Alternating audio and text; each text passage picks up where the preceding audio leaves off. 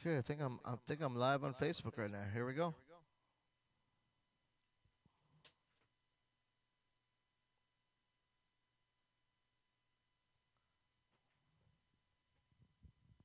See who the winner is.